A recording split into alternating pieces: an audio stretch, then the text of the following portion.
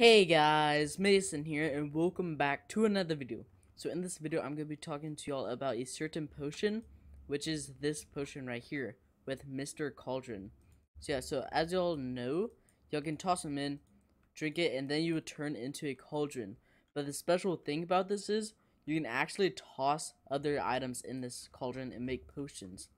So like, for say, let's say I want to make a fly potion. I can grab a Zeus beard, toss it in the cauldron, and I can grab a bird and also toss in the cauldron. And I can go ahead and spawn that potion. And as you can see right here, let's go ahead and drink it. And boom, there we go. So yeah, we're a little bit heavy because we have an entire cauldron on us. But yeah, so you can actually mix potions in this. So yeah, you still can't take the ingredients with you, but you can just have this on you and walk around.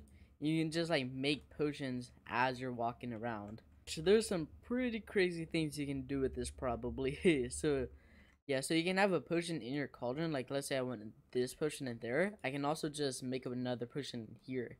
So, so I can have like two potions at once. So yeah, let's go ahead and reset because we don't want this. And I'm not sure if you can make other potions with this, like combine it with stuff. Because I haven't really tested to see if you can combine it with other things. But maybe you might. Oh, never mind. I was just tossing random stuff in here and I just made a potion with it.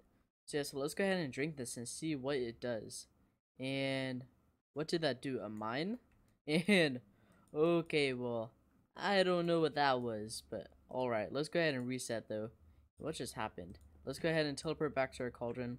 So pretty sure I tossed this in and also tossed like a hoof in, I think. And yeah, that's how we made that. So you can actually make other potions with this.